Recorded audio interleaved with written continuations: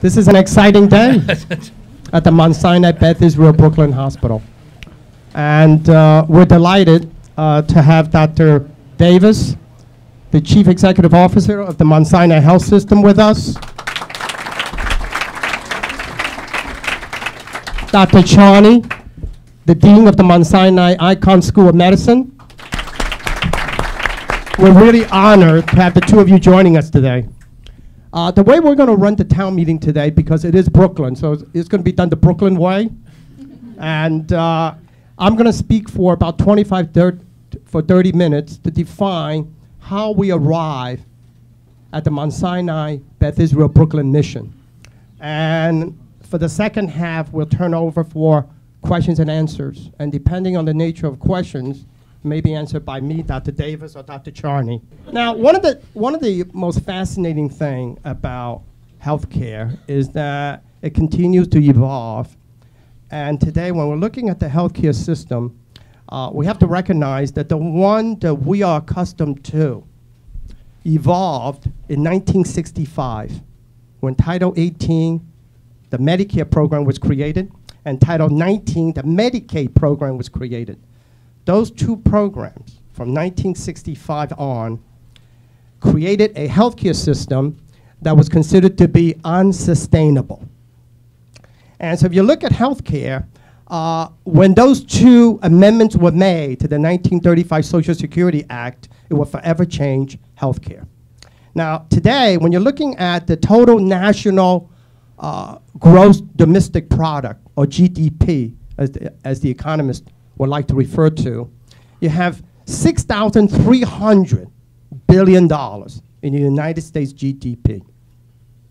Healthcare is 20% of that national GDP, which is approximately 1,271 billion. Now, to give you an idea in terms of dollars, so for every productive dollars in the United States, 20 cents are currently spent on healthcare. And as a result, for some years now, going back to the 80s, the executive branch and the two legislative branches were fighting over and stopping the tremendous escalation of healthcare costs. And obviously, if you look back prior to September 2010, you realize that healthcare cannot continue at that pace. And so when you look at it carefully, and then you look a little further down, and the next greatest expenditure, 19% of the GDP, is the United States federal workers' pension. 16% is education, and 13% is defense. 8% is welfare.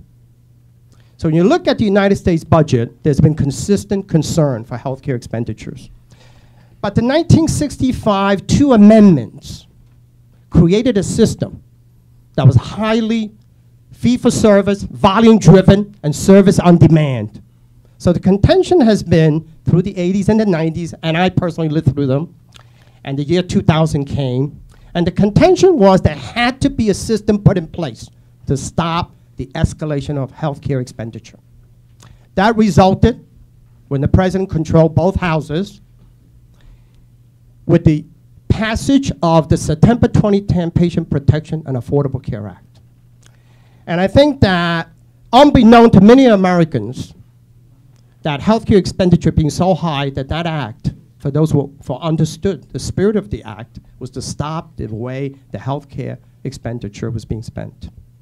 So you have to look at every single one of the concepts, the ideas, innovations from the 80s and the 90s and the year 2000 were folded into that massive 4,000 pages. So you look at some of these elements, and, and we're living through it. That legislation is unique in the following way. It's implemented from September 2010 and will end September 30th, 2016. So because it is implemented over time, a lot of folks don't recognize the impact of that legislation. But we in the hospital, we feel it. So just give you an example. In 2013, October 1st, the disproportionate share payments of the Medicare payment was severely cut. And the impact on healthcare has been unbelievable. for the little hospital up the block, when I put together the 2014 budget, I had to close a gap of 9 million out of an $80 million budget. And I did it.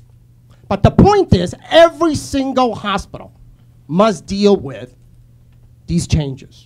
And we're talking about the two midnight rule and the impact on Mount Sinai is 42 million. We're talking about 30-day readmissions and the impact on Mount Sinai. And you're looking at hundreds of millions of dollars of revenues that will be reduced and cut as a result of the escalation of the, of the federal spending, federal, state, and local spending on health care. So, so you look at what's happening. Now, this is a community hospital. We're very, very fortunate that we're still standing because the very special Beth Israel brand that emerged from the Lower East Side in the 1890s, founded by the peddlers of the Lower East Side. And that brand is preserved because it's today flying under the very iconic Mount Sinai brand, founded in 1852 on East 39th Street. And so we are indeed fortunate that we're standing today. Now, more importantly, we're in Brooklyn. So you look at Brooklyn, there's 16 hospitals. 13 of the 16 on the brink of bankruptcy. And so you have to think about it. And two weeks ago, the New York State Department of Health, with the total support of the governor, indicated clearly that out of the 203 New York State hospitals, 50% of those will be merged or absorbed by the end of, by, by the, end of three years and will result in reducing the 203 to 100 hospitals in New York State. So mergers and acquisitions are moving rapidly. And if you are following the stories, Long Island College Hospital will be folding officially. And it's been, you know, we've been hearing that, you know, probably 25, 30 times. But I think this time they're finished. Why? The economics of healthcare. The new model uh, that will be created one day will not allow fee for service, volume driven, and service on demand. The new model may or may not be the accountable care organization. It will be something similar requires that healthcare institutions and systems manage the population's health and assume full risk. And in fact, Mount Sinai started that, ACO, and if you were following the Wall Street Journal last summer, there was a remarkable article detailing the impact when you manage healthcare population. One chronically ill, one chronically ill patient, prior to joining Mount Sinai, had consumed 144,500 to the Medicare program. Under the Mount Sinai program, her cost was brought down to 37,500. But Mount Sinai only got paid 17,500 under the, under the capitated payment, which is the future incidentally, per member, per month, per year. I learned about this concept of capitated payment when I was in the insurance business for two and a half years prior to turning to the hospital business. And I want to tell you, it is unbelievable. You cannot contain medical cost. Now, because we're part of Mount Sinai, we're going to be exposed to and made available to us the innovations, the changes, the cutting edge tools to make it work. And this morning, Dr. Jeff Farber was here and made an, an eloquent and very informative presentation to our doctors. And it was exactly to show that in the future, you have to document in a certain way, and it's captured by the electronic health record. You can't go back to a paper record and claim you did something. And if it's not in the electronic health record, not only you don't get the credit for the care you provided, but you, you won't get paid for. So we're changing the way we deliver health care, but because we are part of Mount Sinai as a community hospital, Remember, the hallmark of a community hospital is how we, in partnership with our voluntary doctors, every doctor in the business world is referred to as a strategic business unit.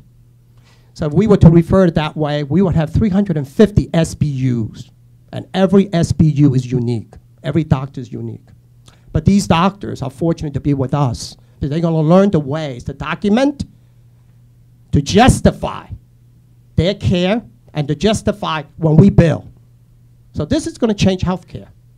Now, what is the mission for a hospital in Brooklyn. A hospital in Brooklyn that wants to be number one. And we're fortunate that we are the flagship of the Mount Sinai Health System, system in Brooklyn. It's going to require doing it right, doing it right and doing it well. And first and foremost, the patient experience of care. It started back in 2003. Experimentally, it started in the year 2000 at about 350 hospitals across the country. In 2003, it was mandated. It was referred to as the Hospital Consumer Assessment of Health Providers and Systems, or HCAP. But the report card that we get as a hospital says is the patient experience of care. They mean the same thing. In order to compete successfully, every single hospital to survive must score very, very high on the HCAP score and translate to a patient experience of care report card. Now, I want to mention report card, everything we do today is captured in the form of a report card. It was never like that. I grew up in a system in the 70s, 80s, and the 90s where we as hospital people didn't get a grade. I transformed myself in the way Darwin wanted me to, right? When my neck was short and the leaves kept on growing, I stretched my neck. I kept on growing my neck till I can reach the leaves at the top. So that's what we're required to do today. To survive, as Darwin indicated, that's how evolution works. And healthcare is going through that major evolution. Now, here's the important thing. Where are we currently? We're at the juncture between the past and the future. And that makes it very, very hard. Because some of the things we're doing is a carryover from the past, i.e., the acute care that we're doing. It's from the past. There's going to be less and less acute care the way we're delivering it today.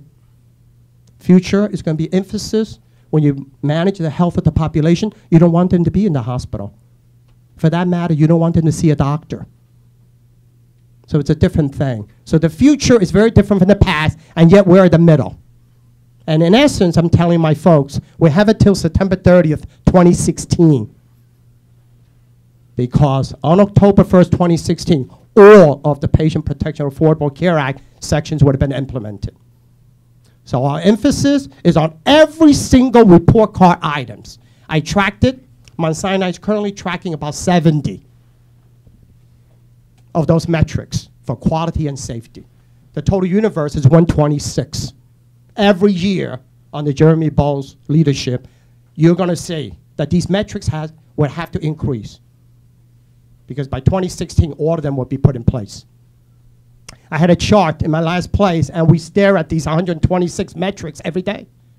But that's just quality and safety metrics. Financial performance is on a set of metrics. Everything we do translates to a report card. Individual doctors standing here, we all have your report card. I intend to work for a few years. That's why I have to reach my neck up, you see. Uh, and those of you who want to stay, you have to do the same thing. It's, a, it's just the nature of our job. Now, looking at that, so, that, so that's one, patient experience of care. Number one goal for our, for our hospital. And every single staff is required to do that. Every single staff. With a lot of the emphasis in nursing, you know, to improve patient experience of care. When you look at healthcare in general, it is about providing efficiencies and create effectiveness. These are all the things we have to focus on. And, and, and, and, and, and if we don't focus on them, before you know it, you have a, you have a, we already have a deficit. I mean, you certainly don't want to grow them uh, uh, far and beyond. And the other thing that's fascinating to me is that Medicare going forward, using the uh, pay for performance, the value based purchasing program, specifically the pay for performance elements, the Medicare revenue that we normally get would be withheld. So when they say penalty, when Medicare talks about penalty, they're not saying we're going to pay them. They're saying your normal check, parts of it would be withheld. That's revenue that's normally built into the budget would be withheld. And there's a rapid, rapid increase of denial of payments. So that's why it was so important that the doctors are documenting appropriately, accurately for the care that they provide. Historically, I know, I know this for a fact in Brooklyn. We deliver a range of care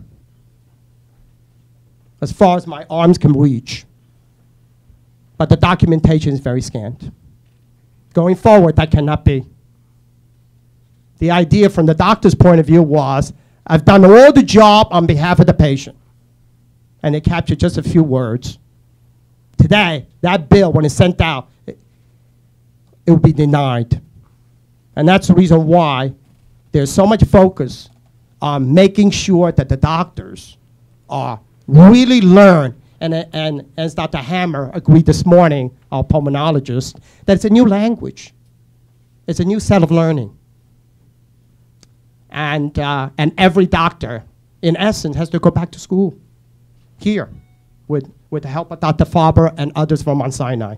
And the other thing I, I, I want to mention, because I see folks uh, in, in, in the room, uh, we're also fortunate because even though we're one small hospital, we're one small hospital and one big hospital.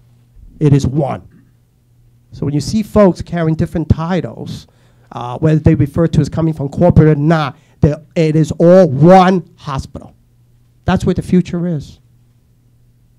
And, but, but we're indeed fortunate to, a, to be able to focus on exactly what we have to do. So our mission, in conclusion, is to work with our voluntary medical staff, community partners, whether it's nursing homes or other care providers, community organizations, whether it's Hatzolah Flatbush, Council of Jewish Organizations, to strengthen the services we can provide to the community.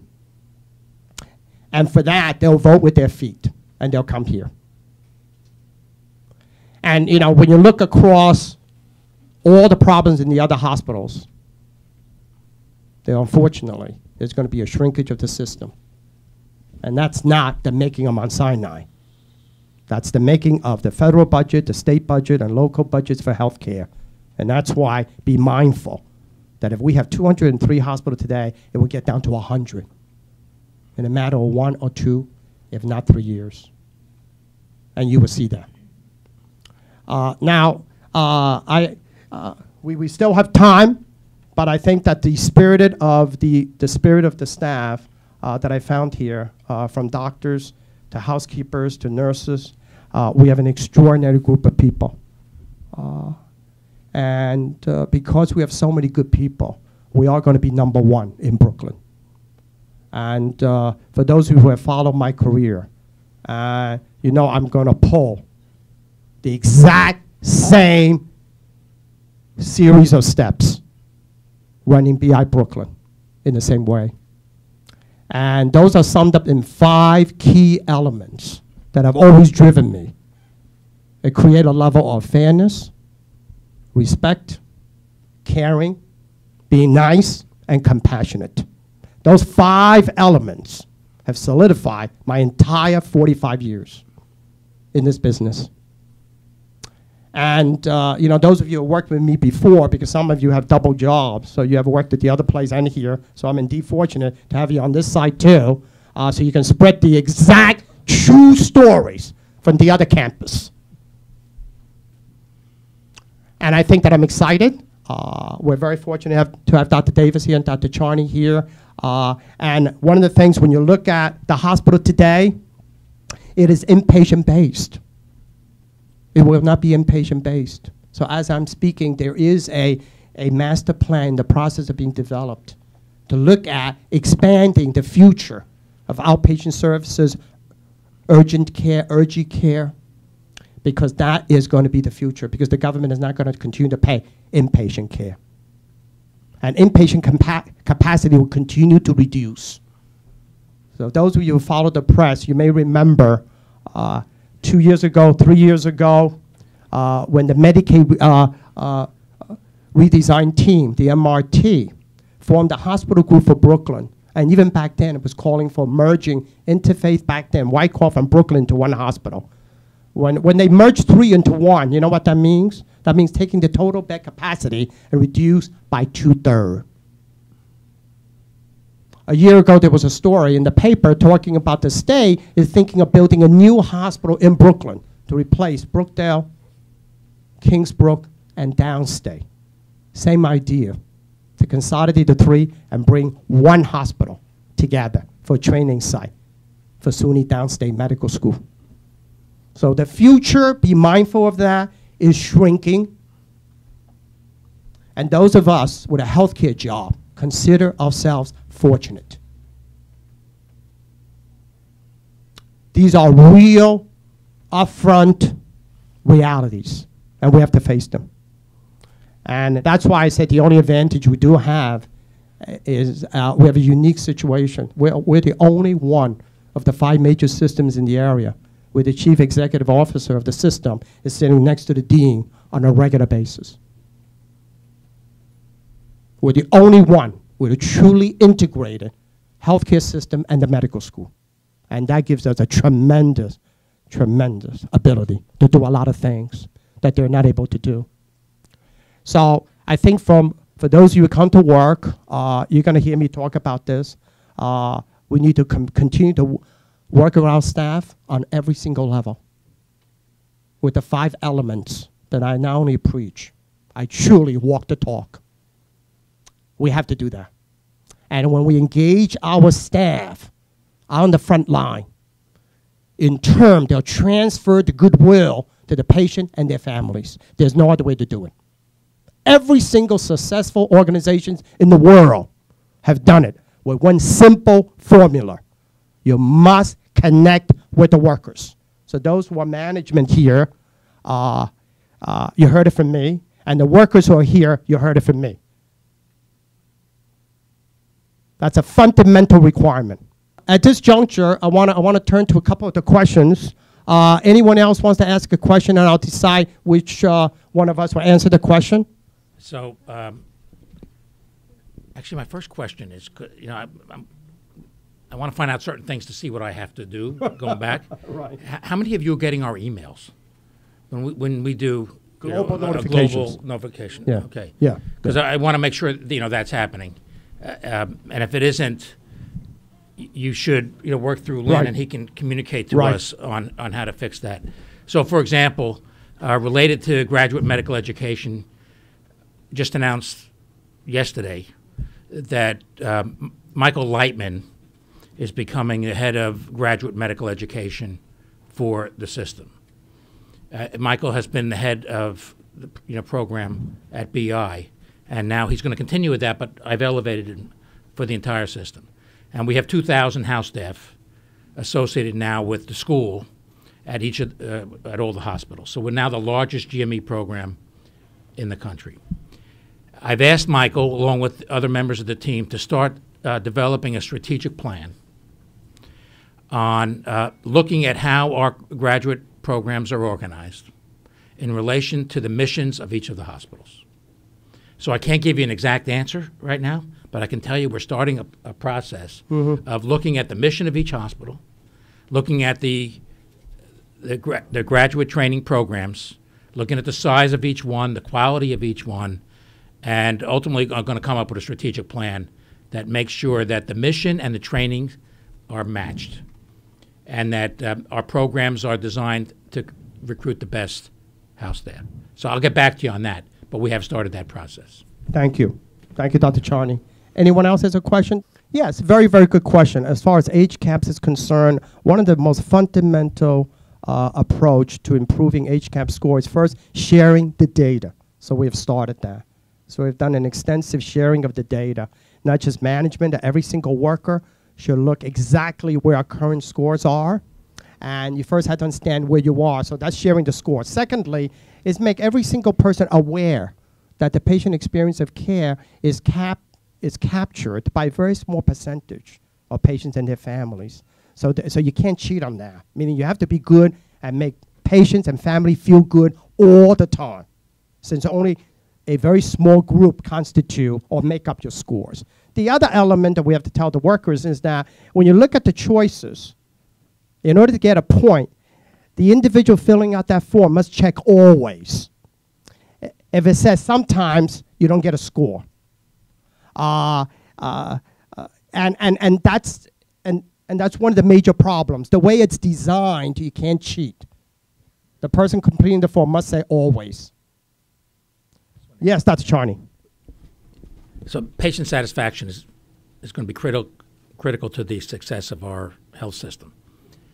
And you might think, well, you know, that might relate dramatically to uh, how the hospital looks, the infrastructure. You know, a beautiful hospital, you get the best scores. That turns out not to be true. So we track, as Lin mentioned, uh, literally uh, on a real time basis, patient satisfaction scores at each of our hospitals. The hospital that's doing the best lately is Mount Sinai Queens. Mm-hmm. The security guards being friendly. In fact, at Mount Sinai Hospital, the security guards are ranked higher than our faculty by the students. right? Because they're very friendly. You walk Right. in, they say, "How can I help you?" Right. You know, and they treat our students great too. So it's just you know uh, to emphasize what Lin is saying. I'm sure Ken uh, feels exactly the same way. It's all about you as people, caring about the patient at every level. That will make this a destination for the patients in Brooklyn. I want to add a few things. Um, we know that hourly rounding with meaning by nurses really changes the patient satisfaction scores.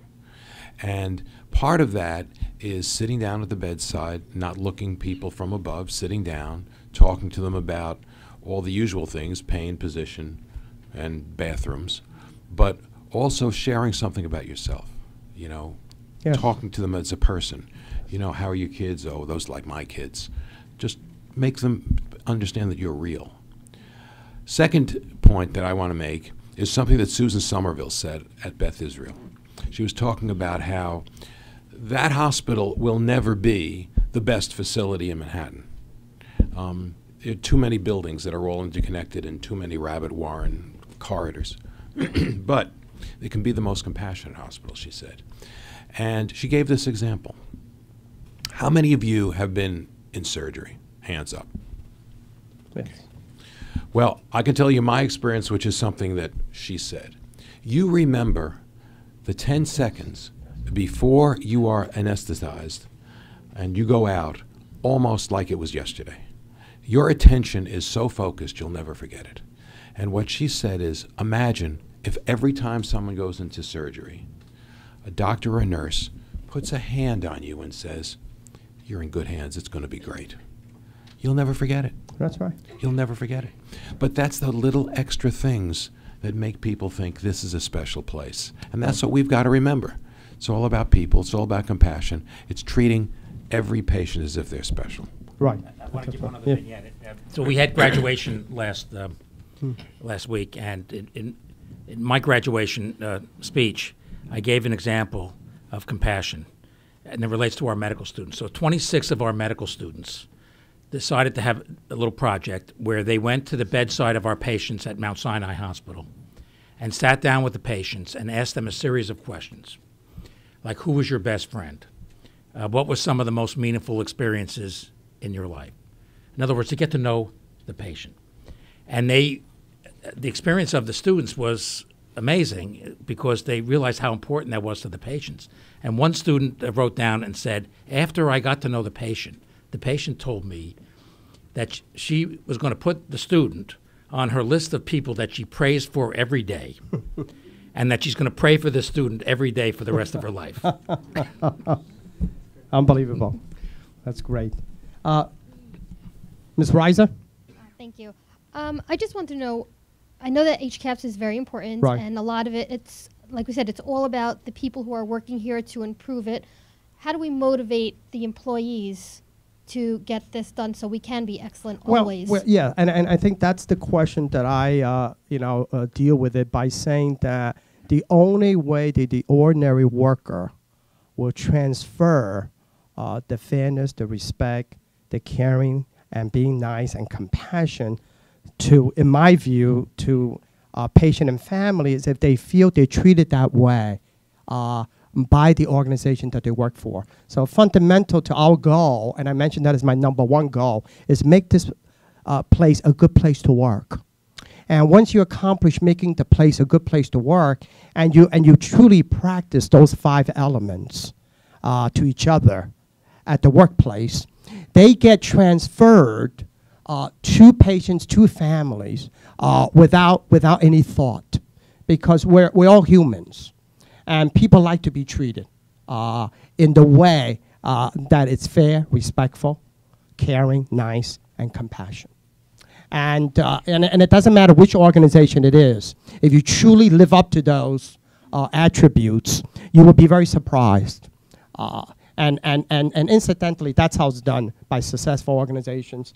And it is done that way in the military, and which uh, uh, is the origin of what management is all about, is founded in the military. So let me add Yeah. a few things. Um, a lot of it has to do with management, with putting the right person as the president, who sets a standard, who's here and makes this an important value and talks to you about it all the time. Um, and that has to translate to the managers, who have to tell the people under them that patients come first all the time. So it's a core value of the organization that starts with the president. Um, we should understand something else that was part of what Lin said. Only two hospitals in Brooklyn have a positive bottom line. Um, we have seen the St. Vincent's bankruptcy, the Cabrini bankruptcy. We can go on and on and on with all the hospitals that have been bankrupt. There are, what, two plus million people who live in this borough, and yet most of the hospitals are nearing bankruptcy. That's both an opportunity and a message. The opportunity is peop keep people in Brooklyn. This is Mount Sinai now. They should get the same care here. And if it's more complex, they get transferred to Mount Sinai. But the consequence of not recognizing where the industry is going is not recognizing that the imperative for you to put patients first is your livelihoods. It's about you too. We'd like to be great for our patients, but this place won't exist in 15 years if we aren't the leaders and we don't differentiate ourselves because, as Lin said, half those hospitals are projected to go in New York State. We're already overbedded in this borough, even though they may scream at Litch that we need more beds. the reality is that if you look at the distribution of beds across the United States and what's needed for a community of this size, we're still overbedded. And as that situ- as healthcare changes, as Lin outlined, it's going to be even more overbedded. So to be great, to be compassionate, sure, it's great for your patients. But it's also imperative for you. That's exactly what it is. Hi, how are you? Um, Before I ask my question, I'd like to give a little history. Um, 3,000 years ago, there was a revelation on the old Mount Sinai. At the Yeah. 3,000 years ago, there was a revelation at the old Mount Sinai, let's call it. Today, there's a new Mount Sinai. My question is, can you reveal or disclose to us any plans in the making about a physical expansion of the place? We talk of Brooklyn. We talk about patient care, which is very important. But the workplace and where the patients are, where the staff are, is also important. Yesterday, um, I happened to be at the medical ethics meeting in uh, on Fifth Avenue, Mount Sinai, and I was quite impressed with the physical structures there. Uh, would you make Brooklyn also a Fifth Avenue? Let's. let- um, there are a lot of things to say to answer that question. The first is to remember that when you walked through some of the nicest places in Mount Sinai, you saw the names of people like Hess and Tisch, and those are there because they live there. Now, this is not a community without resources. This is not a community that can't be philanthropic.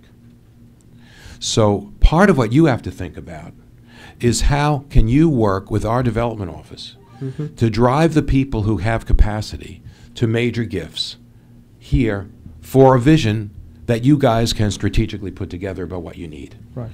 Um, we don't expect from this community $40 million from Tisch, $40 million from Hess, or $150 million from Icahn. But there are, but your needs are smaller too. Um, and your gifts can be smaller, but they should still be there. Right. So let's not forget how important philanthropy is in what are the capital improvements you see. when we were watching St. Vincent's demise, its tailspin, what you would hear the doctor say is, excuse me, oh, we have to have a new hospital. When are we going to get a new hospital? Without the new hospital, things are never going to work. Well, it became a self fulfilling prophecy. And since they never could get the money for a new hospital, they all thought that they were going to fail, and they failed because they couldn't get a new hospital. They didn't get a new hospital because they failed. It goes on and on and on like that. Don't get trapped in the notion that the physical plant is going to determine the happiness of your patients or your success. Um, it's still about people. That said, there are things we can do that are modest in decorations, but we are things we know we have to do around some equipment that's missing that we're going to be buying, um, and the um, practice area, which we have to improve, and we will, and expanding this campus to have more space. So we're looking right now in the area for a place to open an urgent care center and we'll do that, and that will decant the emergency room, which is too crowded. Um, so we want to do all those things, but I hope we wrap it up into all the issues that I raised. Yeah, you have a question? Yeah. Yes, you um, spoke of decreasing length of stay. What Yeah. are some of the changes you're making to facilitate that, and how soon will we see them put to practice? Oh, we, we have already started. Uh, I arrived here on January 24th, and one of the first challenges, of course, is that seemingly on the surface, it appeared that we didn't have capacity, and yes, and, and of course, I recognize that uh, uh, we did have capacity. And so case management now under Joanne, uh, Joanne uh, uh, Schmier uh, is now structured in a, in a different way. That every doctor who's here gets a consolidated call from one individual and, and not from five or six different people, and thereby allowing the physician to get all their patients in one call. And those length of stays have been coming down. Uh, monthly length, length of stay in comparison to 2012, 2013 to 24 year to date is it's much much lower. Uh, it, it actually is very difficult to decrease length of stay, and we actually was remarkably have done so, and that's going to continue. Uh, uh, Ms. Thomas. Yeah, readmits, and I think that we're, we're, uh, we're watching those. Those are one of our metrics. Uh, 30-day readmission uh, have to continue to trail down uh, because if it doesn't, not only that the government doesn't pay for uh, the admission, but that they'll impose a penalty. These are the changes that are in the system, and if you don't adjust to them and you don't do them, uh, uh, you don't do it right, you don't do it successfully, uh, the hospital will not exist. Okay. Uh, there's another question. Hi. Dr. Gortzman. Hi, thank you. Um, over the last uh, two or three years, I've seen groups that should naturally be referring into this group in our catch into this hospital in our catchment area, enter into contractual relationships with other networks, and I've lost a lot of those referrals. I've noticed in my practice, and I'm sure other doctors here have as well. And I was wondering where we stand in establishing our own contractual relationships and recruiting some of these doctors. Yeah, those are those are uh, those are activities in progress, Dr. Gortzman. Uh, uh, we we clearly have uh, uh, the brightest and the best strategic people with us. Those are some of the issues that are being tackled. They're work in progress. I know exactly what you're saying, and and and you have to give a little bit of time for us to reverse those activities. Thank you. Hi. Is there any plans on going to the forgotten neighborhoods like Marine Park, Sheepshead Bay, Gerritsen Beach, where there is no met large medical groups, and the hospital the doctors do use down in Gerritsen Beach, I know, is Staten Island or Methodist?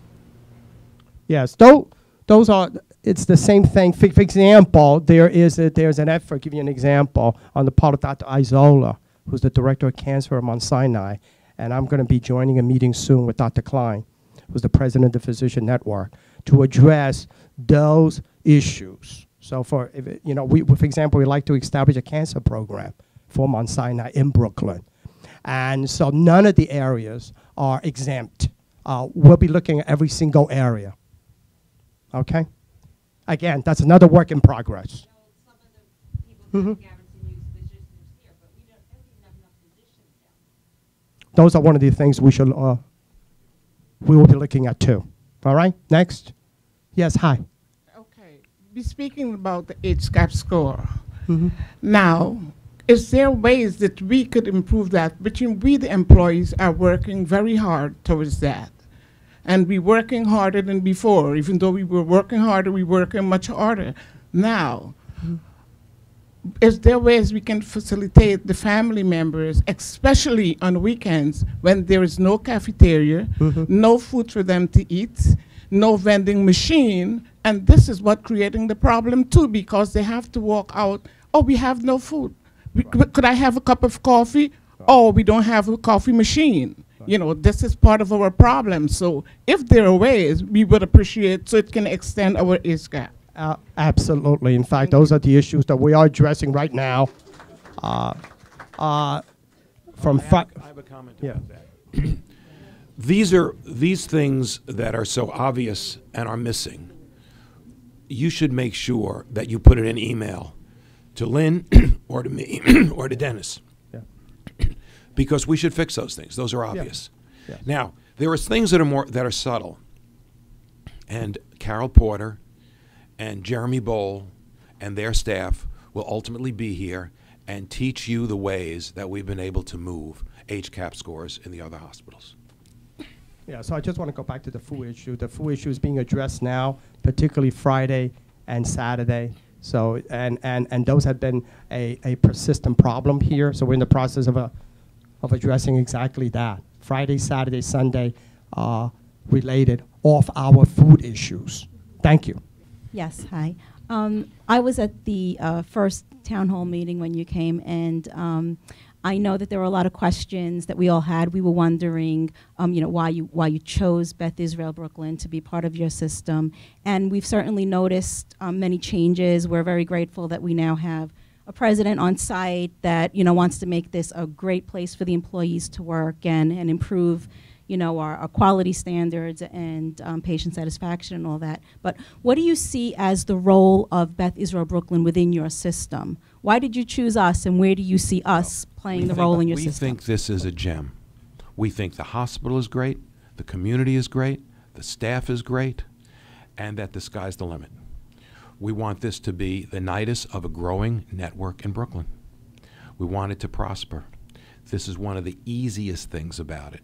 And putting Lin in charge gave me absolute confidence that we can turn this hospital around and make it great. Any other question here? Uh, if not, I think time is up. We want to thank Dr. Davis for coming and Dr. Charney. Thank you all for coming. Thank you.